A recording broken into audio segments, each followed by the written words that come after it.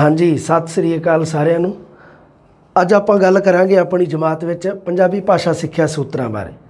ਪੰਜਾਬੀ ਭਾਸ਼ਾ ਅਧਿਆਪਨ ਦੇ ਸਿਧਾਂਤ, ਪੰਜਾਬੀ ਭਾਸ਼ਾ ਅਧਿਆਪਨ ਦੇ ਸੂਤਰ, ਇਹਨਾਂ ਦੇ ਵਿੱਚ ਥੋੜਾ ਜਿਹਾ ਦੇਖਦੇ ਹਾਂ ਆਪਾਂ। ਦੇਖੋ, ਕੁਝ ਕੁ ਗੱਲਾਂ ਹੈਗੀਆਂ। ਹਾਂ, ਅਧਿਆਪਨ ਹੈ ਜਿਹੜੀ, ਉਹ ਇੱਕ ਕਲਾ ਹੈ, ਇੱਕ ਆਰਟ ਹੈ। ਇੱਕ ਕਾਮਨ ਜੀ ਗੱਲ ਹੈ ਨਾ ਤੁਹਾਨੂੰ ਪਤਾ ਵੀ ਅਧਿਆਪਨ ਇੱਕ ਕਲਾ ਹੈ। ਵੀ ਇੱਕ ਅਧਿਆਪਕ ਕੋਈ ਵੀ ਮੰਨ ਲਓ ਕੋਈ ਐਵਰੇਜ ਵੀ ਹੁੰਦਾ ਹੈ, ਕੋਈ ਅਧਿਆਪਕ ਕੋਈ ਅਧਿਆਪਕ ਵਿਚਾਰਾ ਇਸ ਤਰ੍ਹਾਂ ਦਾ ਹੁੰਦਾ ਵੀ ਜਿਹੜਾ ਕੀ ਹੈ ਪ੍ਰਮੋਟ ਹੋਇਆ ਵਾ ਹੁੰਦਾ, ਉਹਨੂੰ ਫਿਰ ਇੰਨਾ ਸਬਜੈਕਟ ਦਾ ਨੌਲੇਜ ਨਹੀਂ ਹੁੰਦਾ। ਇਹ ਵੀ ਚੱਕਰ ਪੈਂਦਾ ਹੈ ਨਾ, ਬਹੁਤ ਸਾਰੇ ਹਾਂ। ਪਰ ਕਈ ਅਧਿਆਪਕ ਕੀ ਹੁੰਦੇ ਆ, ਅਧਿਆਪਨ ਦੇ ਵਿੱਚ, ਕਲਾ ਦੇ ਵਿੱਚ ਇੰਨਾ ਮਾਹਰ ਹੁੰਦੇ ਆ ਐਕਸਪਰਟ ਹੁੰਦੇ ਆ, ਕਿ ਉਹ ਅਧਿਆਪਨ ਨੂੰ ਇੱਕ ਨਵੀਆਂ ਦਿਸ਼ਾਵਾਂ ਵੱਲ ਲੈ ਕੇ ਜਾਂਦੇ ਆ। ਅਧਿਆਪਨ ਇੱਕ ਕਲਾ ਹੈ ਅਧਿਆਪਨ ਪ੍ਰਕਿਰਿਆ ਨੂੰ ਪ੍ਰਭਾਵਸ਼ਾਲੀ ਅਤੇ ਮਨੋਵਿਗਿਆਨਿਕ ਬਣਾਉਣ ਲਈ ਕੁਝ ਸਿਧਾਂਤ ਕੰਮ ਕਰਦੇ ਆ। ਇੱਕ ਤਾਂ ਸਿਧਾਂਤਾਂ ਦੀ ਗੱਲ ਕਰਦੇ ਹਾਂ ਆਪਾਂ। ਸਿਧਾਂਤ ਤਾਂ ਉਹ ਹੁੰਦੇ ਆ, ਅਧਿਆਪਨ ਪ੍ਰਕਿਰਿਆ ਨੂੰ ਪ੍ਰਭਾਵਸ਼ਾਲੀ ਤੇ ਮਨੋਵਿਗਿਆਨ ਬਣਨ ਵਾਸਤੇ ਕੁਝ ਸਿਧਾਂਤ ਕੰਮ ਕਰਦੇ ਆ, ਜਿਨ੍ਹਾਂ ਨੂੰ ਆਪਾਂ ਕਹਿ ਦਿੰਦੇ ਆ ਸਿੱਖਿਆ ਸੂਤਰ। ਸੋ ਪੰਜਾਬੀ ਭਾਸ਼ਾ ਸਿੱਖਿਆ ਦੇ ਸੂਤਰ, ਪੰਜਾਬੀ ਭਾਸ਼ਾ ਪ੍ਰਕਿਰਿਆ ਨੂੰ ਪ੍ਰਭਾਵਸ਼ਾਲੀ ਅਤੇ ਮਨੋਵਿਗਿਆਨਿਕ ਬਣਾਉਣ ਵਾਸਤੇ ਵਰਤੇ ਜਾਂਦੇ ਹਨ। ਅਗਲੀ ਗੱਲ ਦੇਖੋ ਕਿਹੜੀ ਹੈ? ਹਾਂ, ਸਿੱਖਿਆ ਸੂਤਰ ਕਿਸੇ ਵਿਸ਼ੇਸ਼ ਵਿਅਕਤੀ ਦੀ ਖੋਜ ਨਹੀਂ ਹਨ। ਇਹ ਕਿਸੇ ਇੱਕ ਬੰਦੇ ਦੀ ਖੋਜ ਨਹੀਂ। ਪੰਜਾਬੀ ਭਾਸ਼ਾ ਅਧਿਆਪਨ ਦੇ ਜਿਹੜੇ ਸਿਧਾਂਤ ਹੁੰਦੇ ਆ ਨਾ, ਉਹ ਅਲ- ਅਲੱਗ-ਅਲੱਗ ਮਤਲਬ ਕੀ ਹੈ? ਵੀ ਖੋਜਕਰਤਾਵਾਂ ਨੇ ਆਪਣੇ ਆਪਣੇ ਤਰੀਕੇ ਨਾਲ ਖੋਜੇ ਹੋਏ ਆ। ਪਰ ਇਹ ਕਿਸੇ ਇੱਕ ਵਿਸ਼ੇਸ਼ ਬੰਦੇ ਦੀ ਖੋਜ ਨਹੀਂ ਹਨ। ਬਣੇ ਬਣਾਏ ਸਿਧਾਂਤ ਹਨ, ਜੋ ਸਿੱਖਿਆ ਖੇਤਰ ਵਿੱਚ ਕਾਰਜ ਕਰ ਰਹੇ ਵਿਅਕਤੀਆਂ ਦੇ ਤਜਰਬੇ ਉੱਪਰ ਆਧਾਰਿਤ ਹਨ। ਉਹਨਾਂ ਦਾ ਐਕਸਪੀਰੀਅੰਸ ਹੈ ਇਹ। ਜੋ ਸਿੱਖਿਆ ਖੇਤਰ ਦੇ ਵਿੱਚ ਕੰਮ ਕਰ ਰਹੇ ਹਨ, ਸਮੂਹਿਕ ਤੌਰ ਤੇ ਜਿਹੜੇ ਲੋਕ ਨੇ, ਉਹਨਾਂ ਦੇ ਬਾਰੇ ਗੱਲ ਕੀਤੀ। ਇਹ ਸਮਝਣ ਅਤੇ ਵਰਤੋਂ ਜਾਂ ਪ੍ਰਯੋਗ ਵਿੱਚ ਲਿਆਉਣੇ ਸੌਖੇ ਹਨ। ਹਾਲਾਂਕਿ ਇੱਥੋਂ ਐਵੇਂ ਪ੍ਰਸ਼ਨ ਨਹੀਂ ਆਇਆ ਅਜੇ ਤੱਕ ਕਦੇ। ਪ੍ਰਸ਼ਨ ਹੈ ਜਿਹੜਾ, ਦੇਖੋ ਪ੍ਰਸ਼ਨ ਬਣਦਾ ਕਿਵੇਂ ਆ ਪੰਜਾਬੀ ਭਾਸ਼ਾ ਸਿੱਖਿਆ ਦੇ ਸੂਤਰਾਂ ਵਿੱਚੋਂ। ਸਭ ਤੋਂ ਪਹਿਲਾਂ ਤਾਂ ਧਿਆਨ ਰੱਖਣਾ ਤੁਸੀਂ ਵੀ ਗਿਆਤ ਤੋਂ ਅਗਿਆਤ ਹੁੰਦਾ ਆ, ਅਗਿਆਤ ਤੋਂ ਗਿਆਤ ਨਹੀਂ ਹੁੰਦਾ। ਵੈਸੇ ਇੰਨੀ ਗੱਲ ਹੀ ਹੈ, ਸਭ ਤੋਂ ਪਹਿਲਾਂ ਤਾਂ। ਕਿਉਂਕਿ ਇਹ ਜਿਹੜੇ ਆ ਪੰਜਾਬੀ ਭਾਸ਼ਾ ਸਿੱਖਿਆ ਦੇ ਸੂਤਰਾਂ ਵਿੱਚ ਕੋਈ ਬਦਲਾਵ ਨਹੀਂ ਆ ਸਕਦਾ, ਕੋਈ ਚੇਂਜ ਨਹੀਂ ਹੋ ਸਕਦਾ। ਅਗਰ ਮੰਨ ਲਓ ਸਰਲ ਤੋਂ ਕਠਿਨ ਹੈ, ਤਾਂ ਉਹ ਕਠਿਨ ਤੋਂ ਸਰਲ ਕਦੇ ਨਹੀਂ ਹੋਊਗਾ, ਸਰਲ ਤੋਂ ਕਠਿਨ ਹੀ ਰਹੂਗਾ। ਜਾਂ ਸੌਖ ਤੋਂ ਔਖ ਜਿਹਨੂੰ ਆਪਾਂ ਕਹਿ ਦਿੰਨੇ ਆ ਸਭ ਤੋਂ ਪਹਿਲਾਂ ਪ੍ਰਸ਼ਨ ਹੀ ਇਹ ਬਣਦਾ ਹੁੰਦਾ ਹੈ ਐਗਜ਼ਾਮੀਨਰ ਦਾ, ਵੀ ਉਹ ਪਲਟਾ ਕੇ ਲਿਖ ਦਿੰਦਾ, ਦੋ ਤਿੰਨ ਨੂੰ, ਇੱਕ ਨੂੰ ਸਹੀ ਲਿਖ ਦਿੰਦਾ ਹੈ ਹਨਾ? ਤੁਸੀਂ ਦੇਖਿਆ ਹੋਣਾ ਐਗਜ਼ਾਮ ਦੇ ਵਿੱਚ ਇਸ ਤਰ੍ਹਾਂ ਦੇ ਪੈਟਰਨ ਵਾਲੇ ਪ੍ਰਸ਼ਨ ਆਉਂਦੇ ਆ। ਸਾਡੇ ਸਿੱਖਿਆ ਸ਼ਾਸਤਰੀ ਹੈ ਜਿਹੜਾ ਹਰਬਰਟ ਸਪੈਂਸਰ, ਉਹਨੇ ਕੁਝ ਕੁ ਸਿੱਖਿਆ ਸੂਤਰਾਂ ਦਾ ਉਲੇਖ ਕੀਤਾ ਇੱਥੇ, ਉਹਨਾਂ ਦੇ ਬਾਰੇ ਆਪਾਂ ਗੱਲ ਕਰਦੇ ਹਾਂ। ਆਜੋ ਫਿਰ। ਸਭ ਤੋਂ ਪਹਿਲਾ ਹੈਗਾ ਗਿਆਤ ਤੋਂ ਅਗਿਆਤ ਜਾਂ ਜਾਣ ਚੋਂ ਜਾਣ ਤੋਂ ਅਣਜਾਣ। ਇਹ ਤੁਸੀਂ ਦੋਨੇ ਨਾਮ ਹੀ ਇਹਦੇ ਚੇਤੇ ਰੱਖਣੇ ਗਿਆਤ ਤੋਂ ਅਗਿਆਤ ਤਾਂ ਤੁਸੀਂ ਪਤਾ ਹੀ ਹੈ ਤੁਹਾਨੂੰ, ਪਰ ਇਹਦਾ ਪੰਜਾਬੀ ਦੇ ਵਿੱਚ ਇਸ ਨੂੰ ਜਾਣ ਤੋਂ ਅਣਜਾਣ ਵੀ ਕਿਹਾ ਜਾਂਦਾ ਹੈ। ਜਿਸ ਚੀਜ਼ ਨੂੰ ਬਾਰੇ ਗਿਆਨ ਹੈ ਮਤਲਬ ਜਾਣਦੇ ਹਾਂ ਆਪਾਂ, ਗਿਆਤ ਨੂੰ ਜਾਣ ਲਿਖਿਆ ਤੇ ਅਗਿਆਤ ਨੂੰ ਅਣਜਾਣ ਲਿਖਿਆ, ਇੱਕੋ ਹੀ ਗੱਲ ਹੈ ਨਾਰਮਲ ਹੈ ਅੱਗੇ ਦੇਖੋ, ਬੱਚੇ ਦੇ ਪੂਰਵ ਗਿਆਨ ਦੇ ਆਧਾਰ ਤੇ ਨਵਾਂ ਗਿਆਨ ਪ੍ਰਾਪਤ ਕਰਦਾ ਹੈ ਬੱਚਾ। ਇੱਥੇ ਗਿਆਤ ਕੀ ਚੀਜ਼ ਹੈ? ਗਿਆਤ ਤਾਂ ਹੈ ਬੱਚੇ ਦਾ ਪੂਰਵ ਗਿਆਨ। ਗਿਆਤ ਕੀ ਹੈ? ਬੱਚੇ ਦਾ ਪੂਰਵ ਗਿਆਨ ਹੈ। ਤੇ ਅਗਿਆਤ ਕੀ ਹੈ? ਅਗਿਆਤ ਹੈਗਾ ਬੱਚੇ ਨੂੰ ਨਵਾਂ ਗਿਆਨ ਜਿਹੜਾ ਪ੍ਰਦਾਨ ਕਰਨਾ ਹੈ। ਨਵਾਂ ਗਿਆਨ ਜੋ ਪ੍ਰਦਾਨ ਕਰਨਾ ਹੈ, ਬੱਚੇ ਨੂੰ ਦੇਣਾ ਹੈ ਉਸ ਨੂੰ ਅਗਿਆਤ ਕਿਹਾ ਗਿਆ ਹੈ। ਸਹੀ ਹੈ ਕਿ ਨਹੀਂ ਗੱਲ? ਦੇਖ ਲਓ ਤੁਸੀਂ। ਸਥਿਤੀ ਤੋਂ ਐਵੇਂ ਹੀ ਬਣ ਰਿਹਾ। ਬੱਚਾ ਜੋ ਗੱਲ ਜਾਣਦਾ ਹੈ, ਮਤਲਬ ਜਿਸ ਬਾਰੇ ਬੱਚੇ ਨੂੰ ਗਿਆਨ ਹੈ, ਗਿਆਤ ਹੈ ਜਿਸ ਬਾਰੇ ਉਸ ਨੂੰ ਆਧਾਰ ਬਣਾ ਕੇ ਅਗਿਆਤ ਚੀਜ਼ਾਂ ਦੀ ਜਾਣਕਾਰੀ ਕੀ ਦਵਾਈ ਜਾਂਦੀ ਹੈ, ਜਾਣਕਾਰੀ ਦਿੱਤੀ ਜਾਂਦੀ ਹੈ। ਇਸ ਨੂੰ ਕਿਹਾ ਜਾਂਦਾ ਹੈ ਗਿਆਤ ਤੋਂ ਅਗਿਆਤ ਜਾਂ ਜਾਣ ਤੋਂ ਅਣਜਾਣ। ਤੁਸੀਂ ਧਿਆਨ ਰੱਖਣਾ ਹੈ, ਗਿਆਤ ਤੋਂ ਅਗਿਆਤ ਦੇ ਵਿੱਚ ਕੀ ਹੈ? ਗਿਆਤ ਦਾ ਸੰਬੰਧ ਤਾਂ ਪੂਰਵ ਗਿਆਨ ਦੇ ਨਾਲ ਹੈ ਤੇ ਅਗਿਆਤ ਦਾ ਬੱਚੇ ਦੇ ਨਵੇਂ ਗਿਆਨ ਨਾਲ ਜੋ ਬੱਚੇ ਨੂੰ ਪ੍ਰਦਾਨ ਕਰਨਾ ਹੈ। ਲਓ ਜੀ, ਗੱਲ ਕਲੀਅਰ ਹੋ ਗਈ। ਅੱਗੇ ਜਿਵੇਂ ਉਦਾਹਰਨਾਂ ਦਿੱਤੀਆਂ ਕੁਝ ਜਿਵੇਂ ਸੂਤਰ ਦੀ ਵਰਤੋਂ ਕਰਕੇ ਪਾਠ ਯੋਜਨਾ ਵਿੱਚ ਪਾਠ ਸ਼ੁਰੂ ਕਰਨ ਤੋਂ ਪਹਿਲਾਂ ਪੂਰਵ ਗਿਆਨ ਦੀ ਪਰਖ ਕਰਕੇ ਨਵਾਂ ਗਿਆਨ ਦਿੱਤਾ ਜਾਂਦਾ ਹੈ।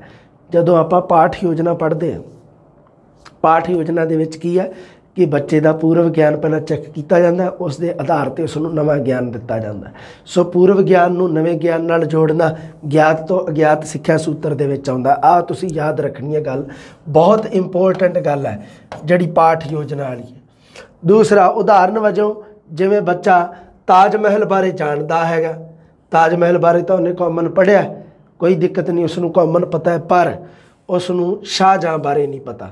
ਸੋ ਤਾਜ ਮਹਿਲ ਬਾਰੇ ਜਾਣਦਾ ਹੈ, ਇਹ ਤਾਂ ਹੈਗਾ ਬੱਚੇ ਦਾ ਗਿਆਤ। ਇਸ ਬਾਰੇ ਤਾਂ ਬੱਚਾ ਜਾਣਦਾ ਹੈ, ਤਾਂ ਇਹ ਹੈ ਬੱਚੇ ਦਾ ਗਿਆਤ। ਗਿਆਤ ਹੈ, ਇਸ ਦੇ ਬਾਰੇ ਜਾਣਕਾਰੀ ਹੈ, ਇਹ ਬੱਚੇ ਦਾ ਪੂਰਵ ਗਿਆਨ ਹੈ। ਇਹ ਕੀ ਹੈ? ਬੱਚੇ ਦਾ ਪੂਰਵ ਗਿਆਨ ਹੈ। ਪਰ ਉਸ ਤੋਂ ਬਾਅਦ ਉਸ ਨੂੰ ਸ਼ਾਹਜਹਾਂ ਬਾਰੇ ਪੜਾਉਣਾ ਜਿਸ ਨੇ ਮਤਲਬ ਕੀ ਹੈ ਤਾਜ ਮਹਿਲ ਬਣਾ, ਬਣਵਾਇਆ ਹੈ, ਤਾਂ ਉਹਦੇ ਬਾਰੇ ਦੇਣਾ ਤਾਂ ਇਹ ਹੈ ਬੱਚੇ ਨੂੰ ਨਵਾਂ ਗਿਆਨ, ਜਿਸ ਨੂੰ ਆਪਾਂ ਕਹਿ ਦਿੰਨੇ ਆ ਅਗਿਆਤ। ਇਸ ਦੇ ਬਾਰੇ ਬੱਚਾ ਅਗਿਆਤ ਹੈ, ਨਹੀਂ ਜਾਣਦਾ ਹੈ। ਬੱਚੇ ਨੇ ਕੁਰਸੀ ਬਾਰੇ ਲਿਖ ਰਿਹਾ ਹੈ, ਉਸ ਦੇ ਆਧਾਰ ਤੇ ਉਸ ਨੂੰ ਮੇਜ਼ ਬਾਰੇ ਲਿਖਣ ਵਾਸਤੇ ਕਹਿਣਾ। ਇਹ ਵੀ ਤਾਂ ਗਿਆਤ ਤੋਂ ਅਗਿਆਤ ਹੈ, ਮਤਲਬ ਕੁਰਸੀ ਬਾਰੇ ਜਾਣਦਾ ਹੈ। ਮਤਲਬ ਕਿ ਇਹ ਕੁਰਸੀ ਬਾਰੇ ਜਾਣਦਾ ਹੈ ਤਾਂ ਕੁਰਸੀ ਗਿਆਤ ਹੈ। ਤੇ ਉਸ ਦੇ ਆਧਾਰ ਤੇ ਮੇਜ਼ ਬਾਰੇ ਲਿਖਣ ਵਾਸਤੇ, ਮੇਜ਼ ਉਹਦੇ ਵਾਸਤੇ ਅਗਿਆਤ ਹੈ। ਠੀਕ ਹੈ ਜੀ? ਆਧਾਰ ਇਸ ਇਸ ਆਧਾਰ ਤੇ ਬੱਚੇ ਨੂੰ ਗਿਆਨ ਦੇਣਾ। ਅਗਲਾ ਸਿੱਖਿਆ ਸੂਤਰ ਹੈ, ਸਰਲ ਤੋਂ ਕਠਿਨ ਜਾਂ ਸੌਖ ਤੋਂ ਔਖ। ਬੱਚਾ ਸਰਲ ਤੇ ਸੌਖੀਆਂ ਚੀਜ਼ਾਂ ਨੂੰ ਛੇਤੀ ਗ੍ਰਹਿਣ ਕਰਦਾ ਹੈ। ਪਾਠ ਪੁਸਤਕ ਵਿੱਚ ਸੌਖੇ ਪਾਠ ਪਹਿਲਾਂ ਤੇ ਔਖੇ ਪਾਠ ਬਾਅਦ ਵਿੱਚ ਆਉਣੇ ਚਾਹੀਦੇ ਹਨ। ਇਹਦੇ ਆਧਾਰ ਤੇ ਤੁਹਾਨੂੰ ਪਤਾ ਹੈ ਕਿ ਬੱਚੇ ਦੀ ਇੱਕ ਰੁਚੀ ਹੁੰਦੀ ਹੈ। ਆਪਾਂ ਕਹਿੰਦੇ ਆ ਨਾ ਵੀ ਨਵੀਂ ਜਿਹੜੀ ਸਾਡੀ ਆਧੁਨਿਕ ਸਿੱਖਿਆ ਪ੍ਰਣਾਲੀ ਹੈ, ਉਹ ਬੱਚੇ ਦੇ ਉਹ ਕੀ ਹੈ ਕਿ ਉਹਦਾ ਉਹਦਾ ਜਿਹੜਾ ਸਿੱਖਿਆ ਦਾ ਕੇਂਦਰ ਆ, ਉਹ ਹੈਗਾ ਬਾਲਕ, ਬੱਚਾ ਆਪ। ਤਾਂ ਬੱਚੇ ਦੀਆਂ ਲੋੜਾਂ, ਬੱਚੇ ਦੀਆਂ ਰੁਚੀਆਂ, ਬੱਚੇ ਦੇ ਗਿਆਨ ਨੂੰ ਆਧਾਰ ਬਣਾ ਕੇ, ਉਸੇ ਦੇ ਆਧਾਰ ਤੇ ਬੱਚੇ ਦੀ ਮਾਨਸਿਕ ਅਵਸਥਾ ਦੇ ਆਧਾਰ ਤੇ ਹੀ ਬੱਚੇ ਨੂੰ ਗਿਆਨ ਦਿੱਤਾ ਜਾਂਦਾ। ਮਾਨਸਿਕ ਅਵਸਥਾ ਤਾਂ ਇਹ ਕਹਿੰਦੀ ਹੈ, ਬੱਚੇ ਦੀ ਰੁਚੀ ਤਾਂ ਇਹ ਗੱਲ ਕਹਿ ਰਹੀ ਹੈ ਕਿ ਸੌਖੀ ਚੀਜ਼ ਨੂੰ ਬੱਚਾ ਪਹਿਲਾਂ ਸਿੱਖੂਗਾ, ਔਖੀ ਨੂੰ ਬਾਅਦ ਵਿੱਚ ਸਿੱਖੂਗਾ। ਉਹਦੇ ਆਧਾਰ ਤੇ ਸੂਤਰ ਹੈ, ਸਰਲ ਤੋਂ ਕਠਿਨ ਜਾਂ ਸੌਖ ਤੋਂ ਔਖ। ਚੋਣ ਵਿਦਿਆਰਥੀਆਂ ਦੀ, ਪਾਠ ਦੀ ਚੋਣ ਵਿਦਿਆਰਥੀਆਂ ਦੀ ਮਾਨਸਿਕ ਪ੍ਰਗਤੀ ਦੇ ਆਧਾਰ ਤੇ ਕੀ ਕਰਨੀ ਚਾਹੀਦੀ ਹੈ। ਸਰਲ ਤੋਂ ਕਠਿਨ। ਇਹ ਅਧਿਆਪਕ ਆਪ ਕਰਦਾ ਕਿ ਸਰਲ ਚੀਜ਼ ਕਿਹੜੀ ਹੈ, ਕਠਿਨ ਕਿਹੜੀ ਹੈ? ਬੱਚੇ ਨੂੰ ਪਹਿਲਾਂ ਕਿਸ ਦਾ ਗਿਆਨ ਦੇਣਾ ਤੇ ਬਾਅਦ ਵਿੱਚ ਕਿਸ ਦਾ? ਉਦਾਹਰਨ ਵਜੋਂ ਜਿਵੇਂ ਕਿਵੇਂ? ਜਿਵੇਂ ਭਾਸ਼ਾ ਸਿੱਖਿਆ ਵੇਲੇ ਵਾਕਾਂ, ਸ਼ਬਦਾਂ, ਵਾਕੰਸ਼ਾਂ ਨੂੰ ਪਹਿਲਾਂ ਪੜਾਉਣਾ ਚਾਹੀਦਾ ਬੱਚੇ ਨੂੰ। ਬੱਚੇ ਨੂੰ ਸਭ ਤੋਂ ਪਹਿਲਾਂ ਬੱਚੇ ਨੂੰ ਵਾਕਾਂ ਦਾ ਗਿਆਨ ਦਿੱਤਾ ਜਾਵੇ। ਵਾਕਾਂ ਦਾ ਗਿਆਨ ਦਿੱਤਾ ਫਿਰ ਸ਼ਬਦਾਂ ਤੇ ਵਾਕੰਸ਼ਾਂ ਦਾ ਗਿਆਨ ਦਿੱਤਾ ਉਸ ਨੂੰ ਲਓ ਜੀ, ਇੱਥੇ ਕੀ ਹੋਇਆ? ਵਾਕਾਂ ਬਾਰੇ ਭਰਪੂਰ ਜਾਣਕਾਰੀ ਹੈ ਉਸ ਨੂੰ ਹੁਣ ਇੱਥੇ। ਇਹ ਤਾਂ ਹੋ ਗਿਆ ਉਸ ਦਾ ਸਰਲ। ਇਹ ਤਾਂ ਸਰਲ ਚੀਜ਼ਾਂ ਸੀ ਉਹਦੇ ਵਾਸਤੇ, ਸਿੱਖ ਲਈਆਂ ਉਹਨੇ। ਕਠਿਨ ਕਿਵੇਂ ਜਾਣਾ? ਹੁਣ ਅੱਗੇ ਸੰਯੁਕਤ ਤੇ ਮਿਸ਼ਰਿਤ ਵਾਕ ਮੰਨ ਲਓ ਬਣਾਉਣੇ ਆ। ਵਾਕ ਤੇ ਇੱਥੇ ਸਧਾਰਨ ਵਾਕ ਤਾਂ ਬੱਚਾ ਬਣਾਉਣਾ ਸਿੱਖ ਗਿਆ। ਵਾਕ ਮਤਲਬ ਸਧਾਰਨ ਵਾਕ ਹੀ ਹੈ। ਪਰ ਉਸ ਤੋਂ ਅਗਲੀ ਜਿਹੜੀ ਸਟੈਪ ਆ ਵਾਕਾਂ ਦਾ, ਉਹ ਹੈਗਾ ਸੰਯੁਕਤ ਤੇ ਮਿਸ਼ਰਿਤ ਵਾਕ। ਇਹ ਉਸ ਦੇ ਵਾਸਤੇ ਕਠਿਨ ਹੈ। ਕੋਈ ਐ ਤਾਂ ਹੈ ਨਹੀਂਗਾ ਵੀ ਬੱਚੇ ਨੂੰ ਸਭ ਤੋਂ ਪਹਿਲਾਂ ਆਪਾਂ ਸੰਯੁਕਤ ਤੇ ਮਿਸ਼ਰਿਤ ਵਾਕ ਪਹਿਲਾਂ ਪੜ੍ਹਾ ਦਾਂਗੇ ਤੇ ਬਾਅਦ ਦੇ ਵਿੱਚ ਉਹਨੂੰ ਕਹਾਂਗੇ ਚੱਲ ਵੀ ਹੁਣ ਤੈਨੂੰ ਸਧਾਰਨ ਵਾਕਾਂ ਬਾਰੇ ਦੱਸ ਦਈਏ। ਨਹੀਂ। ਸਭ ਤੋਂ ਪਹਿਲਾਂ ਉਸ ਨੂੰ ਸਧਾਰਨ ਵਾਕਾਂ ਬਾਰੇ ਦੱਸਿਆ ਜਾਊਗਾ। ਉਸ ਤੋਂ ਬਾਅਦ ਉਸ ਦੇ ਆਧਾਰ ਤੇ ਉਸ ਨੂੰ ਸੰਯੁਕਤ ਤੇ ਮਿਸ਼ਰਿਤ ਵਾਕ ਬਣਾਉਣੇ ਸਿਖਾਏ ਜਾਣਗੇ। ਅਗਲਾ ਜਿਹੜਾ ਹੈਗਾ ਉਹ ਹੈਗਾ ਜੀ ਵਿਸ਼ੇਸ਼ ਤੋਂ ਸਧਾਰਨ ਵੱਲ। ਸਧਾਰਨ ਤੋਂ ਵਿਸ਼ੇਸ਼ ਨਹੀਂ ਹੁੰਦਾ। ਵਿਸ਼ੇਸ਼ ਤੋਂ ਸਧਾਰਨ ਹੁੰਦਾ। ਧਿਆਨ ਰੱਖਿਓ। ਵਿਸ਼ੇਸ਼ ਤੱਤਾਂ ਦੇ ਨਿਰੂਪਣ ਤੇ ਉਦਾਹਰਨ ਪਹਿਲਾਂ ਦੱਸਣੇ ਚਾਹੀਦੇ ਹਨ। ਵਿਸ਼ੇਸ਼ ਦਾ ਮਤਲਬ ਇੱਥੇ ਹੈਗਾ ਉਦਾਹਰਣ। ਉਦਾਹਰਨ ਮੰਨ ਲਓ ਤੁਸੀਂ ਵਿਆਕਰਣ ਪੜਾਓਗੇ ਬੱਚਿਆਂ ਨੂੰ, ਸਭ ਤੋਂ ਪਹਿਲਾਂ ਉਦਾਹਰਣ ਦਿਓ। ਉਦਾਹਰਣ ਮਤਲਬ ਵਿਸ਼ੇਸ਼। ਤੇ ਸਧਾਰਨ ਕੀ ਚੀਜ਼ ਆ? ਸਧਾਰਨ ਹੈਗੇ ਨਿਯਮ। ਨਿਯਮ ਸਧਾਰਨ ਹੁੰਦੇ ਆ, ਧਿਆਨ ਰੱਖਿਓ ਕਦੇ ਵੀ। ਉਦਾਹਰਨ ਵਿਸ਼ੇਸ਼ ਹੁੰਦੇ ਆ। ਆਪਾਂ ਸੋਚ ਲੈਂਦੇ ਆ ਕਈ ਵਾਰੀ ਨਹੀਂ, ਨਿਯਮ ਵਿਸ਼ੇਸ਼ ਹੋਣਗੇ। ਨਾ, ਬਿਲਕੁਲ ਨਹੀਂ। ਆ ਦੇਖ ਲਓ। ਸਭ ਤੋਂ ਪਹਿਲਾਂ ਬੱਚੇ ਨੂੰ ਉਦਾਹਰਨ ਅਗਰ ਸਹੀ ਮਾਇਨੇ 'ਚ ਤਾਂ ਵਿਆਕਰਣ ਇਹ ਕਹਿੰਦੀ ਹੈ ਵੀ ਸਭ ਤੋਂ ਪਹਿਲਾਂ ਉਦਾਹਰਣ ਦਿੱਤੇ ਜਾਣ ਉਸ ਨੂੰ। ਬਾਅਦ ਦੇ ਵਿੱਚ ਕੀ ਹੈ? ਉਹਨਾਂ ਉਦਾਹਰਨਾਂ ਦੇ ਆਧਾਰ ਤੇ ਨਿਯਮ ਕੱਢ ਕੇ ਦੱਸੇ ਜਾਣ। ਇਹੀ ਗੱਲ ਕਹਿੰਦੇ ਵਿਆਕਰਣ ਦੇ ਸਹੀ, ਹਾਂ। ਸਭ ਤੋਂ ਪਹਿਲਾਂ ਉਸ ਨੂੰ ਕੀ ਦੱਸਣੇ ਚਾਹੀਦੇ ਆ? ਤੱਤਾਂ ਦੇ ਨਿਰੂਪਣ ਅਤੇ ਉਦਾਹਰਣ। ਉਸ ਤੋਂ ਬਾਅਦ ਸਧਾਰਨ ਸਿਧਾਂਤ ਜਾਂ ਨਿਯਮ ਬਾਅਦ ਵਿੱਚ ਦੱਸਣੇ ਚਾਹੀਦੇ ਹਨ। ਵਿਦਿਆਰਥੀ ਉਹਨਾਂ ਵਿਸ਼ੇਸ਼ ਉਦਾਹਰਨਾਂ ਤੋਂ, ਵਿਸ਼ੇਸ਼ ਉਦਾਹਰਨਾਂ ਤੋਂ ਕੀ ਕਰੇਗਾ? ਸਧਾਰਨ ਨਿਯਮ ਬਣਾ ਸਕਦਾ ਹੈ। ਜਿਵੇਂ ਨਾਮ ਪੜਾਉਂਦੇ ਸਮੇਂ ਪਰ ਉਹ ਸਭ ਤੋਂ ਪਹਿਲਾਂ ਉਦਾਹਰਨਾਂ ਪ੍ਰਸਤੁਤ ਕੀਤੀਆਂ ਜਾਣ, ਇਸ ਨੂੰ ਤਾਂ ਕਿਹਾ ਜਾਂਦਾ ਵਿਸ਼ੇਸ਼। ਉਸ ਤੋਂ ਸਧਾਰਨ ਵੱਲ ਜਾਇਆ ਜਾਵੇ, ਫਿਰ ਸਧਾਰਨੀਕਰਨ ਦੁਆਰਾ ਪਰਿਭਾਸ਼ਾ ਅਤੇ ਕਿਸਮਾਂ ਬਾਰੇ ਜਾਣਕਾਰੀ ਦੇਣੀ, ਇਸ ਨੂੰ ਕਿਹਾ ਜਾਂਦਾ ਹੈ ਸਧਾਰਨ। ਜਿਹਦੇ ਵਿੱਚ ਨਿਯਮ ਦੇ ਵਿੱਚ ਆਈ ਆਉਂਦਾ ਪਰਿਭਾਸ਼ਾ ਤੇ ਕਿਸਮਾਂ ਨਿਯਮ 'ਚ ਹੀ ਆਉਂਦੀਆਂ, ਇਹ ਨਿਯਮਾਂ ਵੱਲੋਂ ਹੀ ਨਿਰਧਾਰਿਤ ਕੀਤੀਆਂ ਗਈਆਂ ਹੁੰਦੀਆਂ। ਨਾਮ ਦੀਆਂ ਪਰਿਭਾਸ਼ਾ, ਕਿਸਮਾਂ। ਵਿਆਕਰਣ ਦੀ ਆਗਮਨ ਵਿਧੀ ਤੁਸੀਂ ਜੇ ਪੜ੍ਹੀ ਹੈ ਤਾਂ ਆਗਮਨ ਵਿਧੀ ਦੇ ਵਿੱਚ ਇਸ ਸੂਤਰ ਦੀ ਵਰਤੋਂ ਹੁੰਦੀ ਹੈ। ਧਿਆਨ ਰੱਖਣੀ ਹੈ ਤੁਸੀਂ ਗੱਲ। ਬਹੁਤ ਇੰਪੋਰਟੈਂਟ ਪ੍ਰਸ਼ਨ ਬਣੂਗਾ। ਵਿਆਕਰਣ ਦੀ ਆਗਮਨ ਵਿਧੀ ਵਿੱਚ ਕਿਹੜੇ ਸਿੱਖਿਆ ਸੂਤਰ ਦੀ ਵਰਤੋਂ ਹੁੰਦੀ ਹੈ? ਤਾਂ ਉਹ ਹੈਗਾ ਜੀ ਵਿਸ਼ੇਸ਼ ਤੋਂ ਸਧਾਰਨ ਜਾਂ ਉਦਾਹਰਣ ਤੋਂ ਨਿਯਮ, ਜਿਸ ਦਾ ਦੂਸਰਾ ਨਾਮ ਆਪਾਂ ਕਹਿੰਦੇ ਆ ਅਨਿਸ਼ਚਿਤ ਤੋਂ ਨਿਸ਼ਚਿਤ। ਦੇਖੋ ਜੀ, ਬੱਚੇ ਦਾ ਗਿਆਨ ਆ ਜਿਹੜਾ ਆਰੰਭ ਵਿੱਚ ਅਸਪਸ਼ਟ ਹੁੰਦਾ ਹੈ ਅਨਿਸ਼ਚਿਤ ਹੁੰਦਾ ਹੈ। ਉਸ ਨੂੰ ਅਧਿਆਪਕ ਉਸ ਦੇ ਗਿਆਨ ਨੂੰ ਨਿਸ਼ਚਿਤਤਾ, ਨਿਸ਼ਚਿਤ ਦਿਸ਼ਾ ਪ੍ਰਦਾਨ ਕਰਦਾ ਹੈ, ਦਿਸ਼ਾਹੀਣ ਹੁੰਦਾ ਬੱਚੇ ਦਾ ਗਿਆਨ। ਆਰੰਭ ਵਿੱਚ ਬੱਚੇ ਦਾ ਗਿਆਨ ਹੁੰਦਾ ਹੈ ਅਸਪਸ਼ਟ ਅਨਿਸ਼ਚਿਤ ਅਧਿਆਪਕ ਇਸ ਅਨਿਸ਼ਚਿਤ ਅਸਪਸ਼ਟ ਗਿਆਨ ਨੂੰ ਸਿੱਖਿਆ ਦਾ ਆਰੰਭਿਕ ਬਿੰਦੂ ਬਣਾ ਕੇ ਉਸ ਦੇ ਗਿਆਨ ਨੂੰ ਸਪਸ਼ਟ ਅਤੇ ਨਿਸ਼ਚਿਤ ਰੂਪ ਪ੍ਰਦਾਨ ਕਰਦਾ ਹੈ। ਤਾਂ ਇਹ ਕਿਹੜੇ ਸੂਤਰ ਦੀ ਵਰਤੋਂ ਕੀਤੀ ਜਾਂਦੀ ਹੈ? ਅਨਿਸ਼ਚਿਤ ਤੋਂ ਨਿਸ਼ਚਿਤ ਅਨਿਸ਼ਚਿਤ ਤੋਂ ਨਿਸ਼ਚਿਤ। ਜਿਵੇਂ ਕਿਵੇਂ, ਦੱਸੋ ਵੀ ਕਿਵੇਂ? ਦੱਸੋ ਕਿ ਮੈਨੂੰ ਪੁੱਛੋ, ਤੁਸੀਂ, ਮੈਂ ਦੱਸ ਦੇਣਾ ਤੁਹਾਨੂੰ। ਹਾਂ ਬੱਚੇ ਨੂੰ ਘੋੜੇ, ਗਾਂ, ਕੁੱਤੇ ਆਦਿ ਦੇ ਸਰੀਰਕ ਅੰਗਾਂ ਬਾਰੇ ਜਾਣਕਾਰੀ ਨਹੀਂ ਹੁੰਦੀ। ਇਸ ਕਾਰਨ ਉਸ ਦਾ ਗਿਆਨ ਅਨਿਸ਼ਚਿਤ ਹੁੰਦਾ ਹੈ।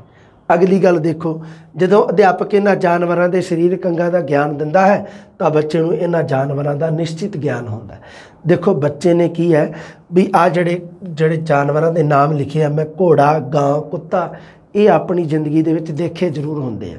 ਪਰ ਉਸ ਨੂੰ ਉਸ ਦੇ ਅੰਗਾਂ ਬਾਰੇ, ਉਸ ਦੀ ਬਨਾਵਟ ਸਟਰਕਚਰ ਬਾਰੇ ਨਹੀਂ ਪਤਾ। ਜਦੋਂ ਅਧਿਆਪਕ ਉਸ ਨੂੰ ਉਸ ਦੇ ਅੰਗਾਂ ਬਾਰੇ ਦੱਸਦਾ ਹੈ, ਤਾਂ ਉਸ ਨੂੰ ਕਿਹਾ ਜਾਂਦਾ ਹੈ ਨਿਸ਼ਚਿਤ ਤੋਂ ਨਿਸ਼ਚਿਤ। ਬੱਚੇ ਦਾ ਪਹਿਲਾ ਗਿਆਨ ਸੀ ਜਿਹੜਾ, ਉਹ ਘੋੜੇ, ਗਾਂ ਜਾਂ ਕੁੱਤੇ ਬਾਰੇ ਅਨਿਸ਼ਚਿਤ ਸੀ। ਪਰ ਜਦੋਂ ਉਸ ਨੂੰ ਉਸ ਦੇ ਅੰਗਾਂ ਬਾਰੇ ਵੀ ਜਾਣਕਾਰੀ ਦਿੱਤੀ ਗਈ ਤਾਂ ਉਸ ਦਾ ਗਿਆਨ ਨਿਸ਼ਚਿਤ ਹੋ ਗਿਆ। ਮੂਰਤ ਤੋਂ ਅਮੂਰਤ ਜਾਂ, ਦੂਸਰਾ ਨਾਮ ਇਹਦਾ, ਸਥੂਲ ਤੋਂ ਸੂਖਮ। ਇਹ ਮੂਰਤ ਸੂਖਮ ਨੂੰ ਹੀ ਕਿਹਾ ਜਾਂਦਾ ਹੈ ਤੇ ਮੂਰਤ ਸਥੂਲ ਨੂੰ ਕਿਹਾ ਜਾਂਦਾ ਜੋ ਚੀਜ਼ ਨੰਗੀਆਂ ਅੱਖਾਂ ਨਾਲ ਦੇਖੀ ਜਾ ਸਕੇ ਉਸ ਨੂੰ ਕਿਹਾ ਜਾਂਦਾ ਸਥੂਲ। ਤੇ ਜੋ ਚੀਜ਼ ਆਪਾਂ ਨੰਗੀਆਂ ਅੱਖਾਂ ਦੇ ਨਾਲ ਨਹੀਂ ਦੇਖ ਸਕਦੇ, ਉਸ ਨੂੰ ਕਿਹਾ ਜਾਂਦਾ ਸੂਖਮ। ਬੱਚਾ ਆਰੰਭ ਵਿੱਚ ਮੂਰਤ ਜਾਂ ਸਥੂਲ ਭਾਵਾਂ ਤੇ ਵਿਚਾਰਾਂ ਨੂੰ ਸਮਝਦਾ ਹੈ। ਆਰੰਭ ਵਿੱਚ ਉਹ ਮੂਰਤ ਜਾਂ ਸਥੂਲ ਭਾਵਾਂ ਨੂੰ ਸਮਝੂਗਾ। ਦੋਨੇ ਹੀ ਯਾਦ ਰੱਖਣੇ ਬਾਈ, ਤੁਸੀਂ ਨਾਮ ਧਿਆਨ ਰੱਖਣਾ ਤੁਸੀਂ। ਇਹ ਰਿਸਪੌਂਸਿਬਿਲਿਟੀ ਹੈ, ਤੁਹਾਡੀ ਦੋਨੋਂ ਨਾਮ ਚਿੱਤੇ ਰੱਖਣੇ ਆ।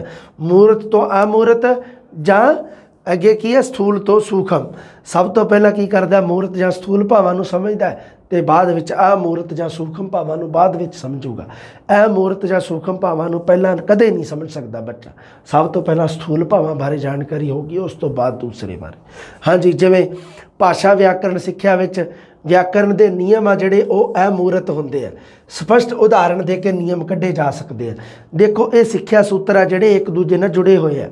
ਹੁਣ ਇਹਦੇ ਵਿੱਚ ਮੈਂ ਕੀ ਦਿੱਤਾ ਹੈ? ਉਦਾਹਰਣ ਤੋਂ ਨਿਯਮ ਜਿਹੜਾ ਜਿਹੜਾ ਆਹ ਇਹਦਾ ਉਦਾਹਰਣ ਦਿੱਤਾ ਹੈ ਨਾ, ਉਹਦੇ ਵਿੱਚ ਸਿੱਖਿਆ ਸੂਤਰ ਉਦਾਹਰਣ ਤੋਂ ਨਿਯਮ ਵਾਲਾ ਦੇ ਰੱਖਿਆ ਤਾਂ ਇੱਕੋ ਹੀ ਗੱਲ ਹੈ ਉਦਾਹਰਣ ਤੋਂ ਨਿਯਮ ਦਾ ਮਤਲਬ ਹੀ ਇਹ ਬਣਦਾ ਮੂਰਤ ਤੋਂ ਅਮੂਰਤ ਜਾਂ ਸਥੂਲ ਤੋਂ ਸੂਖਮ। ਉਦਾਹਰਣ ਤਾਂ ਮੂਰਤ ਰੂਪ ਵਿੱਚ ਸਾਹਮਣੇ ਹੀ ਹੁੰਦਾ ਸਾਡੇ, ਤੇ ਉਦਾਹਰਨਾਂ ਤੋਂ ਹੀ ਅੱਗੇ ਨਿਯਮ ਬਣਾਏ ਜਾਂਦੇ ਆ। ਵਿਆਕਰਨ ਦਾ ਨਿਰਮਾਣ ਐਵੇਂ ਨਹੀਂ, ਤੁਹਾਨੂੰ ਪਤਾ ਭਾਸ਼ਾ ਦਾ ਨਿਰਮਾਣ ਐਵੇਂ ਨਹੀਂ ਹੋਇਆ।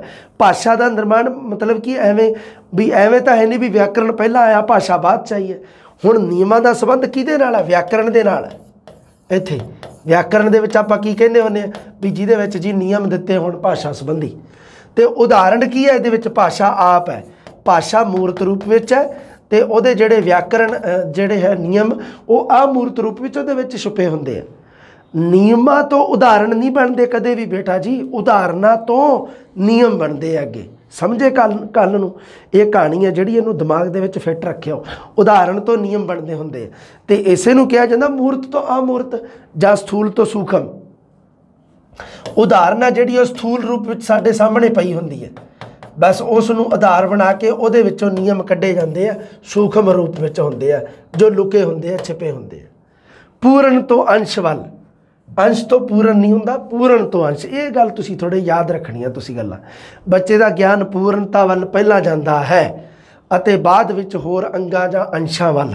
ਸਭ ਤੋਂ ਪਹਿਲਾਂ ਬੱਚੇ ਨੂੰ ਸੰਪੂਰਨ ਵਸਤੂ ਦਾ ਗਿਆਨ ਕਰਾਇਆ ਜਾਵੇ ਤੇ ਬਾਅਦ ਵਿੱਚ ਉਸ ਦੇ ਅੰਗਾਂ ਜਾਂ ਭਾਗਾਂ ਦਾ ਗਿਆਨ। ਉੱਪਰ ਤੁਸੀਂ ਪੜਿਆ ਸੀ ਅਨਿਸ਼ਚਿਤ ਤੋਂ ਨਿਸ਼ਚਿਤ ਵੱਲ। ਬਿਲਕੁਲ ਉਵੇਂ ਦਾ ਹੀ ਅਗਰ ਉਦਾਹਰਨ ਦੇਣਾ ਹੋਵੇ ਤਾਂ ਤਾਂ ਉਸ ਨੂੰ ਕਿਹਾ ਜਾਂਦਾ ਪੂਰਨ ਤੋਂ ਅੰਸ਼ ਵੱਲ। ਸਭ ਤੋਂ ਪਹਿਲਾਂ ਬੱਚੇ ਨੂੰ ਮਤਲਬ ਕੀ ਹੈ ਵੀ ਘੋੜੇ ਬਾਰੇ ਪੂਰੀ ਜਾਣਕਾਰੀ ਉਸ ਦੀ ਸਟਰਕਚਰ ਬਾਰੇ, ਉਸ ਤੋਂ ਬਾਅਦ ਉਸ ਦੇ ਇੱਕ ਇੱਕ ਅੰਗ ਬਾਰੇ ਜਾਣਕਾਰੀ ਦੇਣੀ, ਤਾਂ ਇਸ ਨੂੰ ਹੀ ਤਾਂ ਕਿਹਾ ਜਾਂਦਾ ਪੂਰਨ ਤੋਂ ਅੰਸ਼ ਵੱਲ।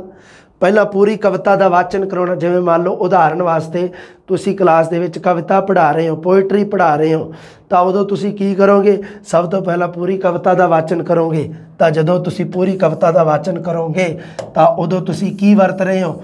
ਪੂਰਨ ਸ਼ਬਦ ਦੀ ਵਰਤੋਂ ਕਰ ਰਹੇ ਹੋ। ਫਿਰ ਉਸ ਦਾ ਖੰਡ ਵਾਚਨ ਕਰਦੇ ਹੋ। ਫਿਰ ਤੁਸੀਂ ਪਹਿਰੇ ਬਣੇ ਹੁੰਦੇ ਆ ਨਾ। ਪਹਿਲਾਂ ਇੱਕ ਪਹਿਰਾ, ਫਿਰ ਦੂਸਰਾ, ਫਿਰ ਤੀਸਰਾ, ਫਿਰ ਚੌਥਾ।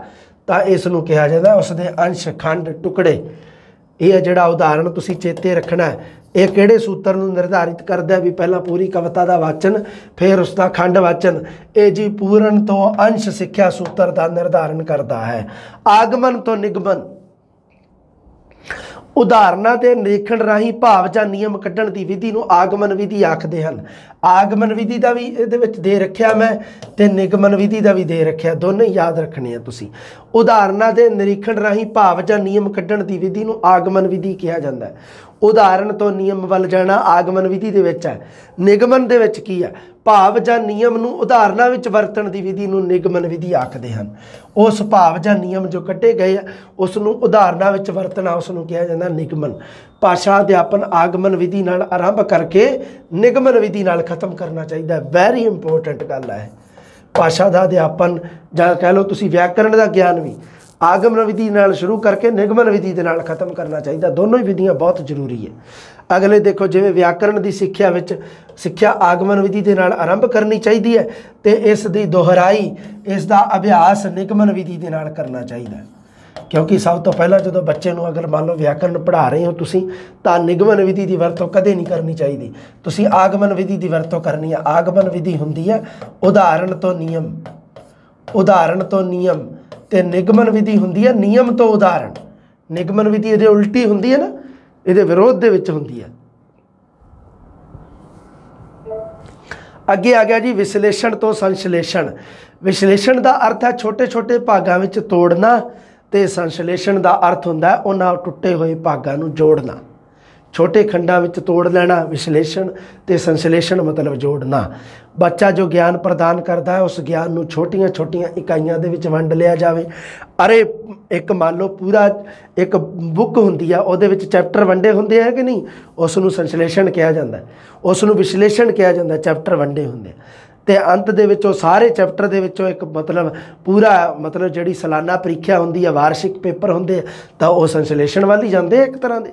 ਛੋਟੀਆਂ ਇਕਾਈਆਂ ਵਿੱਚ ਵੰਡ ਲਿਆ ਜਾਵੇ, ਹਰ ਇਕਾਈ ਦਾ ਵਿਸ਼ਲੇਸ਼ਣ ਕਰਨ ਤੋਂ ਬਾਅਦ ਸੰਸ਼ਲੇਸ਼ਣ ਕਰਨਾ ਜਾਵੇ। ਵਿਸ਼ਲੇਸ਼ਣ ਗੱਲ ਨੂੰ ਸਮਝਣ ਸਮਝਣ ਵਿੱਚ ਸਹਾਇਤਾ ਪ੍ਰਦਾਨ ਕਰਦਾ ਹੈ। ਵਿਸ਼ਲੇਸ਼ਣ ਤਾਂ, ਵਿਸ਼ਲੇਸ਼ਣ ਕਿਉਂ ਕਰਨਾ ਚਾਹੀਦਾ ਕਿਸੇ ਚੀਜ਼ ਨੂੰ? ਕਿਸੇ ਚੀਜ਼ ਦੇ ਖੰਡ-ਖੰਡ ਕਿਉਂ ਕਰਨੇ ਜ਼ਰੂਰੀ ਹੈ? ਕਿਉਂਕਿ ਗੱਲ ਨੂੰ ਸਮਝਣ ਵਿੱਚ ਸਹਾਇਤਾ ਪ੍ਰਦਾਨ ਕਰੂਗਾ ਇਹ ਆਪਾਂ ਨੂੰ। ਉਸ ਤੋਂ ਬਾਅਦ ਕੀ ਹੈ? ਸੰਸ਼ਲੇਸ਼ਣ ਉਸ ਦੇ ਗਿਆਨ ਨੂੰ ਨਿਸ਼ਚਿਤ ਰੂਪ ਪ੍ਰਦਾਨ ਕਰਦਾ ਹੈ। ਮਤਲਬ ਇੱਕ ਜਗ੍ਹਾ ਤੇ ਇਕੱਠਾ ਹੋ ਜਾਂਦਾ ਹੈ ਗਿਆਨ। ਜਿਵੇਂ ਮਿਸ਼ਰਿਤ ਵਾਕ ਦਾ ਗਿਆਨ ਦੇਣ ਸਮੇਂ ਉਸ ਨੂੰ ਸਧਾਰਨ ਵਾਕਾਂ ਵਿੱਚ ਵੰਡ ਲਿਆ ਜਾਵੇ। ਜੇ ਮੰਨ ਲਓ ਮਿਸ਼ਰਿਤ ਵਾਕ ਦਾ ਗਿਆਨ ਦੇਣਾ ਤਾਂ ਮਿਸ਼ਰਿਤ ਵਾਕ ਬਣਦਾ ਵੀ ਤਾਂ ਸਧਾਰਨ ਵਾਕ ਤੋਂ ਹੀ ਹੈ। ਤੇ ਸਭ ਤੋਂ ਪਹਿਲਾਂ ਕੀ ਕੀਤਾ ਜਾਵੇ? ਉਸ ਦਾ ਖੰਡ ਕੀਤਾ ਜਾਵੇ। ਮਤਲਬ ਇੱਕ ਸਧਾਰਨ ਵਾਕ ਦਾ ਉਸ ਨੂੰ ਸਭ ਤੋਂ ਪਹਿਲਾਂ ਨੌਲੇਜ ਦਿੱਤਾ ਜਾਵੇ। ਇਸ ਨੂੰ ਤਾਂ ਕਿਹਾ ਜਾਂਦਾ ਹੈ ਵਿਸ਼ਲੇਸ਼ਣ। ਉਸ ਤੋਂ ਬਾਅਦ ਮਿਸ਼ਰਿਤ ਵੱਲ ਜਦੋਂ ਜਾਵੋਗੇ ਤਾਂ ਇਸ ਨੂੰ ਕੀ ਕਿਹਾ ਜਾਂਦਾ ਹੈ? ਸੰਸ਼ਲੇਸ਼ਣ। ਫਿਰ ਯੋਜਕਾਂ ਦੀ ਜਾਣਕਾਰੀ ਦੇ ਕੇ ਸਧਾਰਨ ਤੋਂ ਮਿਸ਼ਰਿਤ ਵਾਕ ਬਣਾਉਣ ਦੀ ਪ੍ਰਕਿਰਿਆ ਸਮਝਾਈ ਜਾਵੇ। ਵੈਰੀ ਇੰਪੋਰਟੈਂਟ ਉਦਾਹਰਨ ਹੈ। ਉਦਾਹਰਨਾਂ ਜਿਹੜੀਆਂ ਜਿਹੜੀਆਂ ਵੀ ਦਿੱਤੀਆਂ ਮੈਂ ਤੁਸੀਂ ਚੇਤੇ ਰੱਖਣੀਆਂ। ਆ ਜਿਵੇਂ ਦਿੱਤਾ ਹੋਇਆ ਸਧਾਰਨ ਵਾਕ ਵਾਲੀ, ਮਿਸ਼ਰਿਤ ਵਾਕ ਵਾਲੀ ਉਦਾਹਰਨ। ਹੂਬਹੂ ਇੱਕ ਪ੍ਰਸ਼ਨ ਉਦਾਹਰਨ ਦੇ ਵਿੱਚੋਂ ਆਊਗਾ। ਪਿਛਲੀ ਵਾਰੀ ਵੀ ਮੇਰੀ ਇਸ ਬੁੱਕ ਦੇ ਵਿੱਚੋਂ ਆਇਆ ਸੀ, ਕੋਈ ਇਸ਼ੂ ਨਹੀਂ। ਦੇਖ ਸਕਦੇ ਹੋ ਤੁਸੀਂ। ਮਨੋਵਿਗਿਆਨ ਤੋਂ ਤਰਕ ਵੱਲ ਬੱਚੇ ਨੂੰ ਪਹਿਲਾਂ ਯੋਗਤਾ ਤੇ ਰੁਚੀ ਦੇ ਅਨੁਸਾਰ ਗਿਆਨ ਦਿੱਤਾ ਜਾਂਦਾ ਹੈ। ਇਸ ਨੂੰ ਤਾਂ ਕਿਹਾ ਜਾਂਦਾ ਮਨੋਵਿਗਿਆਨ ਦੇ ਆਧਾਰ ਤੇ ਸਾਈਕੋਲੋਜੀਕਲ ਨੌਲੇਜ ਉਹਦੇ ਆਧਾਰ ਤੇ ਕਿਵੇਂ ਕੀ ਹੁੰਦਾ ਹੈ? ਪਹਿਲਾਂ ਯੋਗਤਾ ਤੇ ਰੁਚੀ ਦੇ ਆਧਾਰ ਤੇ, ਉਸ ਤੋਂ ਬਾਅਦ ਵਿੱਚ ਕੀ ਹੁੰਦਾ ਉਸ ਨੂੰ ਵਿਸ਼ੇ ਸਮਗਰੀ ਨੂੰ ਤਾਰਕਿਕਤਾ ਦੇ ਨਾਲ ਵੀ ਜੋੜਨਾ ਜ਼ਰੂਰੀ ਹੈ। ਕਿਉਂਕਿ ਗਿਆਨ ਦਾ ਸੰਬੰਧ ਤਰਕ ਦੇ ਨਾਲ ਹੋਣਾ ਬਹੁਤ ਜ਼ਰੂਰੀ ਹੈ। ਛੋਟੇ ਬੱਚਿਆਂ ਨੂੰ ਪਹਿਲਾਂ ਬਾਲ ਗੀਤ ਪੜ੍ਹਾਏ ਜਾਣ। ਹੁਣ ਬਾਲ ਗੀਤਾਂ ਦਾ ਤਾਂ ਤਰਕ ਨਾਲ ਕੋਈ ਸੰਬੰਧ ਨਹੀਂਗਾ ਇਹਨਾਂ ਦਾ ਸੰਬੰਧ ਤੇ ਮਨੋਵਿਗਿਆਨ ਦੇ ਨਾਲ ਹੈ। ਵੀ ਬੱਚਾ ਕੀ ਆ? ਬਾਲ ਗੀਤਾਂ ਦੇ ਵਿੱਚ ਜ਼ਿਆਦਾ ਰੁਚੀ ਰਹਿ ਰਿਹਾ।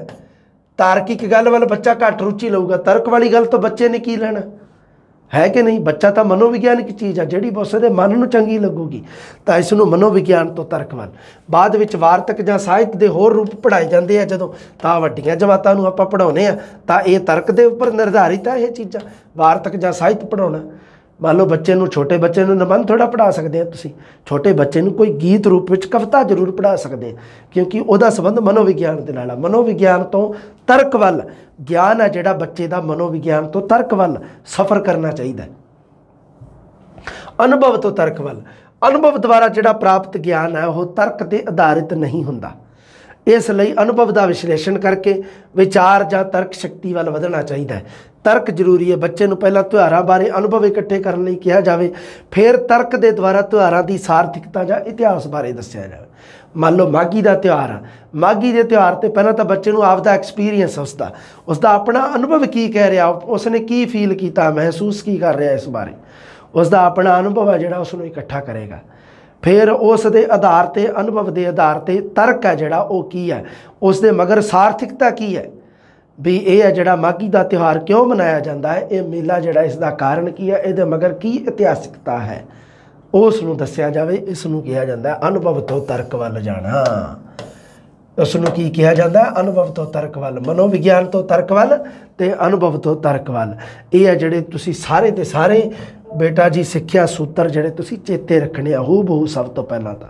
ਕਿਹੜੇ ਕਿਹੜੇ ਇੱਕ ਤਾਂ ਗਿਆਤ ਤੋਂ ਅਗਿਆਤ ਜਾਂ ਜਾਣ ਤੋਂ ਅਣਜਾਣ। ਦੂਸਰਾ, ਸਰਲ ਤੋਂ ਕਠਿਨ ਜਾਂ ਸੌਖ ਤੋਂ ਔਖ। ਉਸ ਤੋਂ ਬਾਅਦ ਤੀਸਰਾ, ਵਿਸ਼ੇਸ਼ ਤੋਂ ਸਧਾਰਨ। ਅਨਿਸ਼ਚਿਤ ਤੋਂ ਨਿਸ਼ਚਿਤ 4 ਨੰਬਰ 5 4 5 ਹੋ ਗਏ, ਹਨਾ?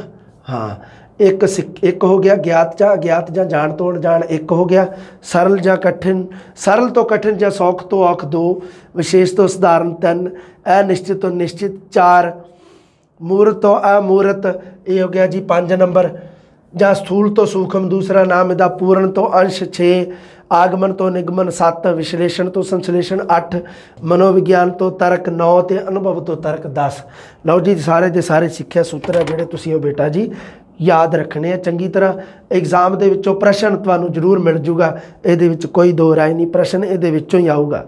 ਇਸ ਤੋਂ ਬਾਹਰ ਪ੍ਰਸ਼ਨ ਨਹੀਂ ਆਊਗਾ। ਮਿਲਦੇ ਅਗਲੀ ਜਮਾਤ ਲੈ ਕੇ। ਜਲਦੀ ਰੱਬ ਰਾਖਾ।